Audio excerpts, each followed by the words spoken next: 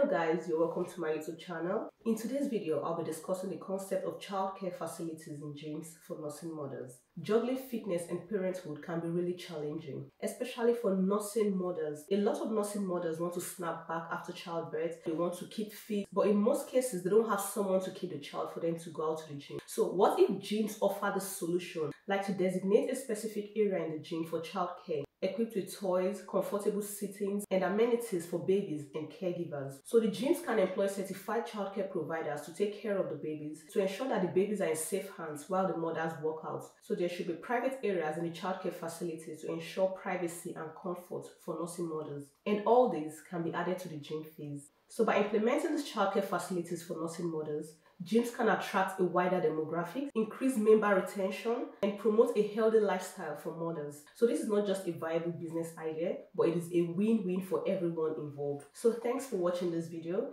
and don't forget to like, share, and subscribe for more innovative ideas like this. Bye.